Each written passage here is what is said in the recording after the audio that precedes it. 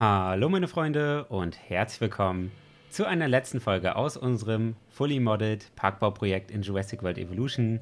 Wir haben bei der letzten Folge den Park soweit fertig abgeschlossen und heute möchte ich nochmal mit euch gemeinsam eine kleine Besichtigung machen, auch alle Touren fahren, uns alles angucken und natürlich ist auch für euch das Safe Game unten in der Videobeschreibung verlinkt. Das könnt ihr da runterladen und auch mal selber ausprobieren. Allerdings müsst ihr natürlich für die richtige Experience oder Erfahrung in unserem Park äh, alle Mods installieren, die ich auch installiert habe. Die Modliste ist natürlich auch unten in der Videobeschreibung. Und es geht genau hier los, nämlich in unserem Resort und Spa. Man kommt hier mit dem Helikopter an, so wie es hier gerade perfekt getimed ist. und dann steigt man hier natürlich aus. Also ist ja quasi schon so Privatflug, ne? Also richtig krass. Da muss man schon ordentlich Asche hinblättern, denke ich. Und hier geht es dann hinein. Welcome. Und ja, dann geht es natürlich in den Park. Einige Sachen hier kann ich leider nicht so gut durchfliegen, aber das ist ganz normal hier bei der Kamera. Ich werde versuchen, das Ganze so gut wie es geht in Besucherperspektive zu machen. Mal gucken, wie mir das gelingt. Ich werde aber auch die ein oder andere Sache von oben zeigen. Also hier steigt man oder hier kommt man dann raus. Und hier geht es dann in unseren Resort- und Sparbereich. Ich habe übrigens nicht mehr alles ganz fertig gebaut, weil die FPS langsam angefangen haben, schlecht zu werden. Das heißt, die ein oder andere Bank habe ich dann ein bisschen weniger platziert, aber das macht ja nichts. Wir werden auch nochmal bei Nacht nachher rüberschauen, wenn ich dran denke. Ich hoffe. Ansonsten müsst ihr das tun. Hier links findet man dann schon mal einige Läden. Ein Souvenirshop, natürlich auch Bänke und Mülleimer. Die dürfen ja nicht fehlen. Alles schön beleuchtet. Hier ist dann direkt eine Toilette. Sowas finde ich auch immer wichtig an Parkeingängen. Da kann man dann auch reingehen, wenn man äh, nach der langen Reise unbedingt auf Klo muss. Und hier hinten ist nochmal ein kleines Café. Da kann man sich dann auch nochmal ausruhen, ein bisschen hinschillen.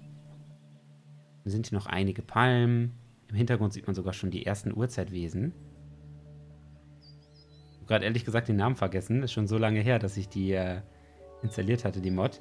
Könnt ihr gerne in die Kommentare schreiben, damit ich dann nochmal äh, daran erinnert werde, wie die heißen. Das sind auch noch wunderschöne Palmen. Also es ist hier schon wirklich, ich glaube, diese Resort-Optik haben wir schon gut hinbekommen. Das Einzige, was mir ein bisschen fehlt, ist Sand. Aber Sand hatten wir ja leider nicht zur Verfügung. Aber dafür haben wir diesen schönen hellen Holzweg. Der sieht ja auch ganz ordentlich aus. Also bin ich sehr zufrieden mit. So, wir biegen mal direkt hier rechts ab. Hier geht es nämlich zum ersten Hotel, wo man einchecken kann. Und in diesem Hotel hat man wirklich eine wundervolle Aussicht. Hier kann man sich nämlich überall hinsetzen und hinschillen. Vorne sind ganz tolle Sitzplätze. Wenn ihr mal schaut, da sitzen auch schon die ersten Leute. Ziemlich cool. Und man kann dann direkt hier vom Hotel aus eine wunderschöne Aussicht genießen hier auf unsere Urzeitvögel. Ich weiß leider den Namen gerade echt nicht mehr. Der ist mir entfallen. sehr, sehr ärgerlich. Kann es auch leider nicht nachschauen. Ach, übrigens, die Dinosaurier oder die Lebewesen, die wir noch äh, in der letzten Folge in den Park gebracht haben, die haben natürlich auch einen Namen bekommen. Falls ihr den herausfinden wollt, dann müsst ihr das Safe Game runterladen. So, so ist auf jeden Fall die Aussicht aus unserem ersten Hotel. Wir gehen mal weiter, weil wir haben noch sehr viel zu entdecken. Wir wollen das ja nicht zu sehr in die Länge ziehen. Sorry, wenn es hier teilweise so ein bisschen laggt. Aber das kann ich leider nicht verhindern. Wie viele Mitarbeiter hier einfach rumlaufen. Mehr Mitarbeiter als Gäste. So, hier geht es dann nochmal in einen kleinen Sitzkreis. Da kann man sich dann auch entspannen. Nochmal schön mit den Leuten ein bisschen quatschen. Ein paar Hecken, ein paar Mülltonnen dürfen nicht fehlen. Die haben wir ja überall. Oh, ich sehe hier schon, aus Besucherperspektive sieht man schon die ersten Fehler. Hier schwebt nämlich ein bisschen was, die Bank. Aber das macht nichts, das lassen wir jetzt einfach so. Das finde ich jetzt gar nicht so schlimm. Die schweben irgendwie alle. Das hat man von oben gar nicht gesehen. Gucken wir uns das Ganze mal von oben an. Von oben sieht man es nämlich nicht. So sieht das Ganze aus von oben. Ich hoffe, die Kameraführung ist einigermaßen okay für euch. Nämlich gar nicht so einfach. Hier wäre auf jeden Fall so eine schöne Palme, so ein bisschen Wasser, ein Weg drumherum. Hier vorne ist dann nochmal eine kleine Toilette, die Jurassic Park 1 Toilette für den Nostalgiefaktor. Und hier vorne geht es dann zum Check-in in das zweite Hotel. Hier in diese Tür. Und dort hat man natürlich wieder einen ähnlichen Ausblick. Man halt nur im Nachbarhotel sozusagen. Und da kann man dann auch auf diese wundervollen Vögel, die sich alle verstecken da hinten, blicken. Aber wir können ja ranzoomen zum Glück. kriegt man sie auch mal zu Gesicht. Echt, dass die alle gerade da hinten sind. Haben wohl keine Lust hier vorne direkt am Zaun zu sein, damit wir sie gut beobachten können, aber macht ja nichts. Das ist auf jeden Fall das erste Tier, was man zu Gesicht bekommt in unserem Fully Modded Park. Finde ich schon ziemlich cool. Und hier geht es dann eigentlich erst richtig los. Also hier geht es in den Park. Merkt man auch, weil es hier aus dem Resort geht. Hier endet nämlich dieser helle Weg und es geht in unserem ja, modernen Weg, würde ich sagen, über. Und jetzt geht es nach links und rechts. Schilder gibt es leider keine. Man sieht auch erstmal nichts, aber hier vorne kann man den ersten Blick riskieren, wenn man rechts geht. Durch den Zaun. Dort sehen wir auch schon die ersten Dinosaurier. Cool. Da haben wir nämlich Toros. Da haben wir Argentinosauren. Ich hoffe, mir fallen die ganzen gemoddeten Dino-Namen noch ein. Ansonsten müssten wir echt helfen. Hätten sich sogar den mit dem Säge, wie hieß denn der nochmal? Das war auch irgendwas mit A. Amaga, äh, keine Ahnung, weiß ich nicht mehr. Schreibt's gerne rein. ich hätte mir mal die Mods vorher nochmal angucken können. Dann hätte ich vielleicht die Dino-Namen nochmal drauf gehabt. Bin leider mal sehr vergesslich, was Namen angeht. Dürfen mir nicht böse sein. So, wir fliegen mal weiter. Ich denke mal, so ist die äh, Sicht schon ganz gut. Ein bisschen über dem Kopf der Besucher. Hier rechts, das ist für die Mitarbeiter. Da können sie nämlich in das Gehege fahren. Das ist nämlich das große Pflanzenfressergehege. Hier kommt dann nochmal so eine kleine Sitzecke mit Hecke und allem drum und dran. Hier ist ein Souvenirladen, auch sehr schön. Hier haben wir uns auch mal ein bisschen ausgetobt mit meiner eigenen Mod. Alles so mit Zäunen und sowas umzäunt. Finde ich ziemlich cool. Allerdings glaube ich auch, dass diese ganzen Objekte einiges an FPS ziehen.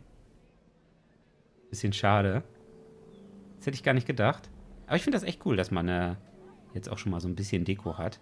Ich muss mal gucken, wenn ich die Zeit finde, dass ich hier noch ein bisschen weiterentwickle, was die Deko-Mods angeht. Aber momentan ist die Zeit wirklich echt knapp. Ich habe so viele Projekte am Laufen. Ich weiß gar nicht, wohin ich, was ich alles zocken soll. Und ich wünschte, ich hätte mehr Zeit. Also es ist wirklich sehr, sehr schade. Naja. Oh, hier ist es auch ein bisschen hugelig geworden, sehe ich gerade, aber das macht nichts. Das geht noch einigermaßen. Das ist okay. So, hier geht es jetzt in den ersten Turm. Und dort können wir natürlich auch die Aussicht genießen.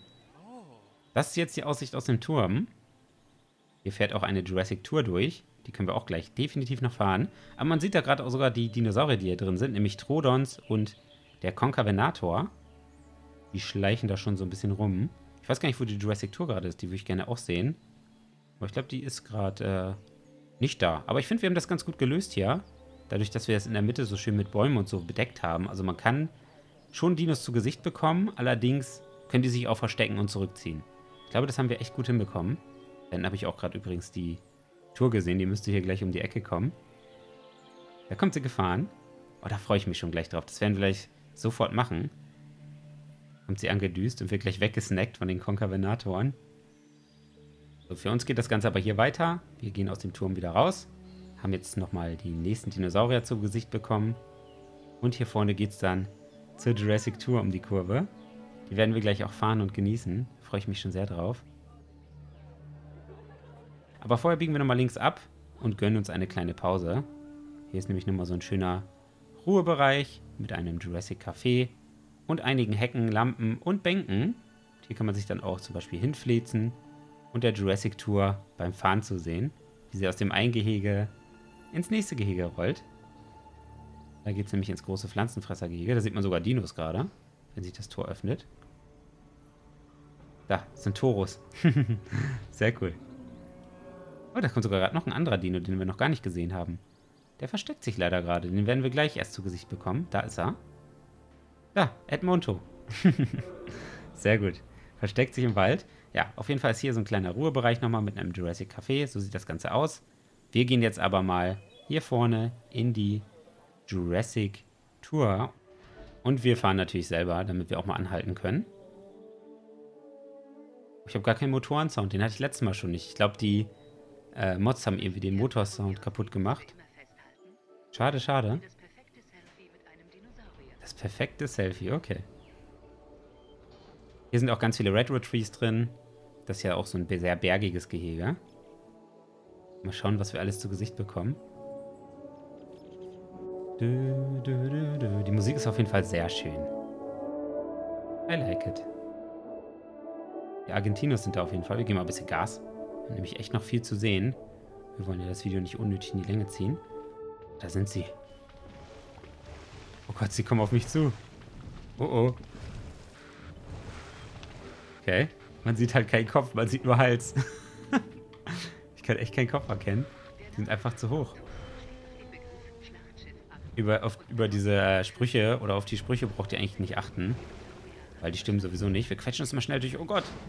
Ich glaube, das wird nichts mehr mit durchquetschen. Ich kann nicht mehr weiter. Rückwärts gang. die Argentinos, die machen uns äh, hier fertig. Ne, die Sprüche sind natürlich nicht für die gemoddeten Dinos, die sind für die anderen. Da liegen sogar Baumstämme. Hier ist ein kleiner Futterspender. Aber wir fahren weiter. Hier vorne geht es nämlich entlang.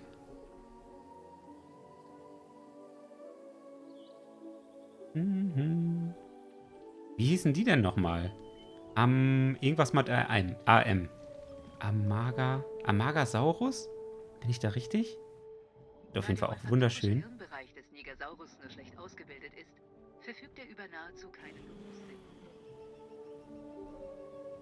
Ich glaube, das war Amagasaurus. Ich bin mir gerade nicht sicher. Wunderschön mit der Farbe und dem Segel. Richtig cool. Aber wir wollen ihn nicht weiter stören. Wir düsen voran. Also die Tour haben wir bis jetzt echt gut hinbekommen. Da bin ich sehr zufrieden mit. Da sehen wir die nächsten Dinos. Das sind Edmontus. Die sind da wohl gerade am Fressen. Da geht es nämlich so ein bisschen nach oben. Das haben wir ja extra so gemacht. Sehen auch richtig cool aus. Oh, da kommt sogar gerade noch ein Tor um die Ecke. Durch die Felsen. Ah, guck mal, das, das ist leider bisschen doof, ne? Die können, dadurch, dass das Mods sind, durch die Felsen so ein bisschen durchgehen. Aber, naja, kann man nicht ändern. Dafür sieht alles immer ein bisschen anders aus. Ist ja auch schon mal was, ne? Nicht das Classic Jurassic World Evolution. Diese Musik ist toll. Hier liegt auch nochmal ein riesiger umgefallener Baum. Links Felsen. Ich glaube, das haben wir echt schon gut hinbekommen. Sieht super interessant aus. Oh, da flackert auch der Felsen ein bisschen. Egal. Ja, das ist sogar noch eine Dino-Art. Guck mal da vorne. Das ist ein Oviraptor, der da steht. Da kommt gerade noch einer. Vielleicht sehen wir den gleich nochmal. Wir fahren da nämlich auch noch rum, wo gerade die andere Tour ist. Aber jetzt geht es erstmal hier durch die Schleuse in das nächste Gehege. Da oben saßen wir gerade und haben die beobachtet. Hinein geht's ins Fleischfressergehege. Und hier haben wir Trodons und den Konkavenator. Zweimal, glaube ich. Aber die haben wir ja vorhin schon gesehen von oben. Oh Gott, Bitte nicht angreifen. Er trinkt da gerade, das ist gut.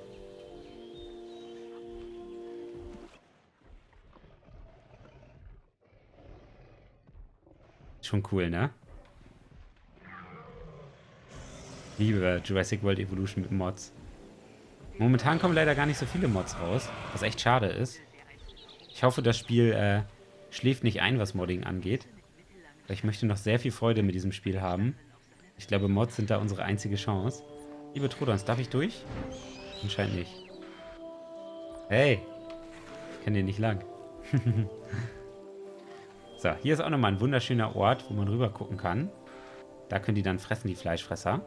Haben wir auch ziemlich cool gemacht da, die Ecke, finde ich. Haben wir gut umgesetzt. Kommen wir mal schnell vorbei hier, bevor wir... Aua! Noch angegriffen werden. Und jetzt geht's zurück. Ins nächste Gehege. Wo wir vorhin schon waren. Jetzt sind wir nämlich auf der anderen Seite. Ich hoffe, die Oviraptoren sind jetzt noch hier, dass wir die nochmal vom Näher sehen. Ansonsten können wir es nicht ändern, dann ist das so.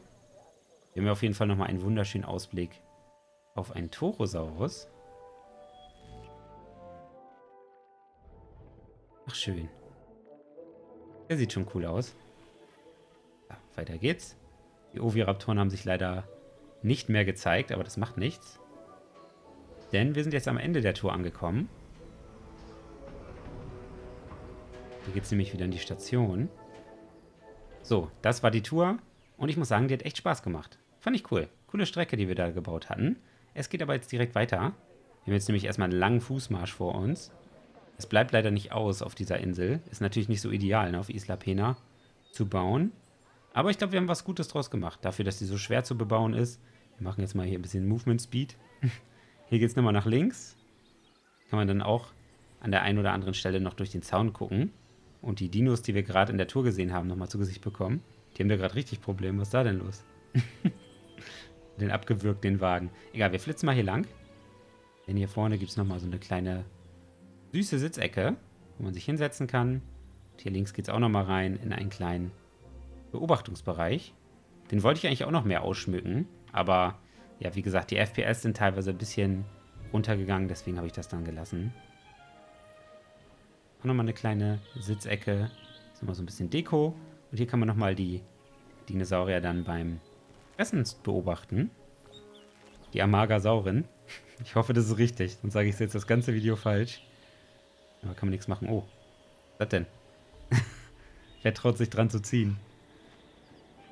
Einfach so ein Schweif raus. Oh, da ist ein Oviraptor. Jetzt sehen wir ihn nochmal näher. Das ist gut. Das ist sehr gut. Bekommt ihr den auch nochmal zu Gesicht? Da ist er. Der kleine Oviraptor. Das haben wir schon gut hinbekommen mit der Sicht. Also man kann das wirklich von allen Seiten eigentlich beobachten, das Gehege. Äh, aber auch nicht die ganze Zeit. Wir haben ja hier auch so ein bisschen Betonwände gebaut, was ich aber auch gut finde. Und natürlich die schöne Jurassic Tour. So, und dann geht es hier links. Jetzt haben wir nämlich einen langen Fußmarsch vor uns, bis zum nächsten Bereich. Hier haben wir nochmal so eine kleine Aussichtsplattform, wo man nochmal den Blick aufs Meer genießen kann. Was auch wunderschön aussieht. Und natürlich sich nochmal ausruhen kann, wenn man schon sehr weit gelaufen ist und nicht mehr kann. Aber wir machen nicht schlapp, wir sprinten weiter.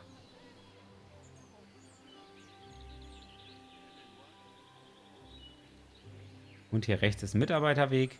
Und links kommen wir wieder zu einem weiteren Highlight. Erstmal einem Café, wo man nochmal was trinken kann. Aber hier geht es ins begehbare Gehege. Das ist ja auch was ganz Besonderes. Ich habe die Leute übrigens noch nicht gesehen, dass die da reingehen. Also ich glaube, das funktioniert soweit nicht. Aber für uns ist es trotzdem toll. Und wir können hier direkt bis ins Gehege gehen. Und dort können wir die wunderschönen Cetacosauren angucken. Wie sie grasen. Sind die nicht süß? Oh. Ich finde die Mod toll. Die ist super. Ist auch cool mit dem hohen Gras. Gefällt mir sehr gut. Dass sie sich noch so ein bisschen verstecken können. Aber die kommen ja auch wirklich nah ran. Ne? Also man kann die wirklich richtig gut beobachten und sogar streicheln. Diese Lampen, die halten ja nicht, nicht groß auf. Finde ich mega cool, die Idee. In so einem begehbaren Gehege. Jetzt müssen wir mal eben die Kamera wieder gut ausrichten. So, passt es, glaube ich. Und dann kann man nämlich hier vorne noch ein weiteres Mal reingehen. Dann der zweite Kreis, wo man gucken kann. So sieht das Ganze übrigens von oben aus. Ist schon sehr interessant. Aber es geht weiter. Im nächsten Gehege. Beziehungsweise zum nächsten Aussichtsturm. Und das ist die Aussicht aus unserem Aussichtsturm. Hier haben wir auch ein sehr interessantes Gehege gebaut. Ein sehr ausgetrocknetes Gehege. Ist aber, glaube ich, sogar mein Lieblingsgehege. Das ist ja das, was wir in der ersten Folge gebaut haben. Und ich finde, das ist wirklich richtig gut gelungen. Das hat echt eine ganz tolle Optik, wie ich finde. Und auch ganz tolle Bewohner natürlich. Die schlafen leider gerade da hinten. Das sind zwei Giganotosauren. Mit tausend Ziegen. schaut, schaut mal, wie viele Ziegen da sind. Zählt die Ziegen, los. ne, es sind richtig viele Ziegen drin, weil ich Dinosaurierkämpfe nicht anhab, logischerweise. Und äh, ja, die deswegen nicht gefressen werden. Fliegen mal ganz kurz ein bisschen tiefer rein. Soll ich die nochmal von nahen zeigen? Da sind nämlich die beiden Gigas. Erwachen gerade. Ich zeige euch nochmal von oben. Haben auch einen sehr interessanten Wasserverlauf hier geschaffen. Äh, Höhenunterschiede haben wir natürlich auch drin. Hier geht es nämlich nochmal ein bisschen hoch. Und natürlich diese schönen Felsen, die haben wir öfter benutzt in unserem Park. Aber es geht weiter. Geht mal jetzt so weiter. Dann ist es ein bisschen einfacher aus dieser Sicht. Kann ich euch auch Sachen mit der Maus zeigen. Ist, glaube ich, sogar klüger. So, hier haben wir nämlich einmal eine Fossilienzone. Hier sind immer ein paar Bänke und so sind nicht ganz perfekt platziert. Ich hatte aber, wie gesagt, am Ende auch nicht mehr so die äh, Lust, zu viel zu platzieren und sowas und äh, das alles zu perfekt zu machen, weil ich einfach schon viel Zeit investiert hatte und wegen den FPS. Äh, hier ist dann nochmal eine schöne Toilette, so im modernen Stil. Darf natürlich nicht fehlen. Hier haben wir sogar mal Lampen in der Mitte des Weges, das finde ich auch ganz cool. Und hier geht es in die nächste Beobachtungsgalerie. Da hat man nochmal von der anderen Seite so ein bisschen die Sicht. Da waren wir vorhin rechts. Und hier können wir jetzt auch nochmal gucken. Leider verstecken die sich immer noch da hinten, aber das macht ja nichts. Das kann man leider nicht ändern, wo sich gerade die Dinos so rumtreiben. So, hier geht es dann nochmal in ein wunderschönes Restaurant. Das ist eh mein Lieblingsgebäude. Das mag ich wirklich mit Abstand am liebsten. Mit diesem tollen Spinosaurus ist das, glaube ich, ne? Oder Suchomimus-Kopf. Eins von beiden, glaube ich. Immer nochmal so eine einzelne Bank. kann man sich da nochmal hinsetzen, wenn man sich ausruhen möchte. Hier ist dann nochmal so ein kleiner Rundkreis. Hier geht es auch ein bisschen hoch und dann ist da ein Redwood Tree und ganz viele Lampen. Ich habe ja sowieso über Lampen gemacht, damit das Ganze auch bei Nacht funktioniert. Und hier ist nochmal ein begehbares Gehege, in Anführungszeichen. Also so halb begehbar. Kann man die, die Dinos nochmal beobachten. Wir gehen nochmal hier in diese Sicht kurz. Nochmal ein bisschen näher ran. Hier gibt es nämlich Pachis. Wunderschön, wie nah der gerade auch am Zaun ist, der Pachi. Und da hinten sind Jin, Jingju, Jing, ich weiß es auch nicht mehr. Es ist wirklich zu lange her, Leute. Ganz gerne reinschreiben. Jinsosaurus oder so. Ich mich da auch echt schwer, mir das immer zu merken, diese ganzen Namen. Das ist aber auch nicht einfach, oder? Nicht zumindest. Haben wir hier nur die zwei Arten drin gehabt? Ich glaube ja, ne? Ich glaube, hier hatten wir nur die zwei Arten. Aber es ist trotzdem cool, dass man hier so direkt reingehen kann ins Gehege. Und dann hier nochmal so ein dünnerer Zaun ist, weil der Rest des Geheges ist halt mit so einem dickeren Zaun eigentlich umzäunt. Seht ihr ja hier. Und hier an der Stelle, wo man reingehen kann, ist es halt ein bisschen dünner. Dann hat man mehr das Gefühl, dass man näher dran ist. Da oben fährt übrigens unsere schwarze Einschienenbahn. Der werden wir auch gleich eine Tour machen, denn wir müssen jetzt eigentlich schon da einsteigen. Also hier geht es jetzt lang. Das ist nochmal so ein kleiner Wasserbereich. Und wir müssen jetzt hier einsteigen. Wir können auch mal eben warten, bis sie andockt. Oh, da kommt sie gerade. Perfekt. Denn wir wollen jetzt mal runterfahren in diese Richtung, also nach links. Ansicht anzeigen. So, können auch mal kurz warten.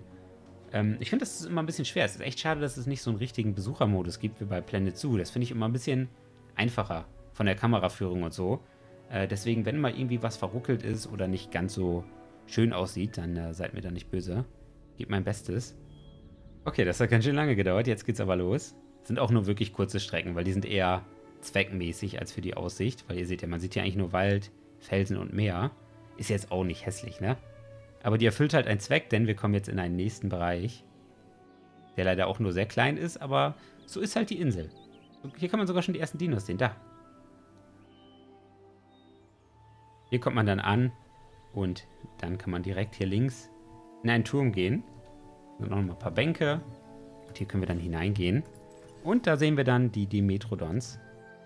Eine der besten Mods, die es für Jurassic World Evolution gibt. Deswegen durfte die natürlich auch in unserem Park nicht fehlen. Ganz, ganz wichtig. Aber wir gehen direkt weiter, weil wir haben noch weitere Aussichtspunkte, wo wir gucken können. Hier geht es nochmal um die Kurve. Hier ist ein wunderschöner Wasserbereich, wo die trinken können, beziehungsweise müssen, weil das das einzige Gewässer ist. Kann man dann auch perfekt nochmal durchgucken und die beobachten. Das ist schon echt schön. So, und wir gehen weiter. Denn hier vorne ist erstmal nochmal wieder eine Bank und ein Mülleimer. Und nochmal eine kleine Toilette. Und ein Kleiderladen. Den ich optisch auch sehr schön finde, muss ich sagen. Also den finde ich auch super ansprechend, den Kleiderladen, wenn ihr euch den mal anguckt. Richtig cooles Design. Die Toilette auch. Sie sehen echt gut aus, die Gebäude. Und hier vorne geht es auch nochmal rein. Hier hat man dann auch nochmal so einen kleinen begehbaren Bereich, wo man näher rankommt an die Tierchen. Jetzt ab und zu mal hin und her wechseln zwischen den Kameras. Das geht nicht anders. Der knabbert im Boden. Aber ist schon eine coole Mod, ne? Also kann man nicht anders sagen. Ich finde es auch cool, wie sich das Segel immer so bewegt. Zu der Bewegung von dem Dinosaurier. Das ist schon echt sehr gut gemacht. So, und jetzt äh, fliegen wir mal in den letzten Bereich. Ich würde sagen, wir fahren jetzt nicht mit der Bahn, das dauert zu lange und man sieht eh nicht so viel. Wir fahren jetzt hier zurück und einmal in die andere Richtung. Hier geht es dann entlang. Und hier in den letzten Bereich, da ist sogar gerade die Bahn angekommen. Hier unten kommt man dann raus und dort gibt es einmal eine kleine Ranger-Station mit zwei Jeeps, die abfahrbereit schon da stehen. Dann gibt es hier drei Beobachtungsgalerien. Gehen wir mal in die erste hinein. Sehen wir da gerade was? Oh ja, da sehen wir sogar Dinos. Wie hießen die denn nochmal? Okay, es lag mir auf der Zunge, aber ich habe es gerade nochmal extra nachgeguckt. Young Chuanosaurus hießen die. das hat mich gerade ein bisschen genervt, dass ich den Namen schon wieder nicht mehr wusste. Mensch, Mensch, Mensch. Äh, die verziehen sich aber gerade so ein bisschen. Das heißt, wir gehen auch mal nochmal eine Galerie weiter. Denn man kann hier einfach weitergehen. Oh, hier sind noch Schilder. Das habe ich ganz vergessen. Upsi. Also, um so einen Park zu besuchen, aus Besucherperspektive, ist Jurassic World Evolution leider echt nicht so geeignet. Schade, schade. Hier seht ihr übrigens die anderen Dinos, die noch drin sind. Da weiß ich sogar den Namen. Terizinosaurus. Wäre auch traurig, wenn nicht, wenn ich den Namen nicht wüsste. Richtig cool. Also Yangchuanosaurus und Terizinosaurus. Hier ist die dritte Beobachtungsgalerie. Da kann man dann wirklich in alle Richtungen den Blick abdecken. Finde ich sehr cool. Da sieht man ihn nochmal, der hat wirklich tolle Farben, ja. Auch eine richtig gut umgesetzte Mod. Und auch der Terry ist nice. Sein Clown. So, schauen wir nochmal von oben.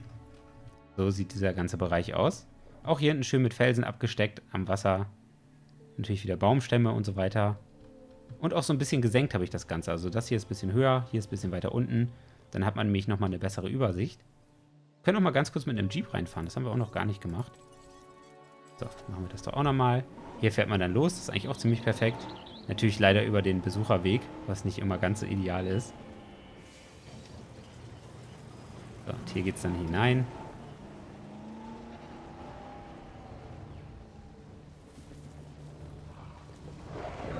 Und hier steht man dann.